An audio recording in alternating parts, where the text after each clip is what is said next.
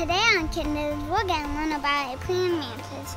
This is a real one. We found this one in our backyard. The claws in the front right here, those claws could hang on to anything and they usually can catch bugs since they're really sharp.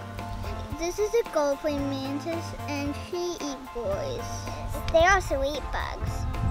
Gold praying mantises could fly, but the boys can't.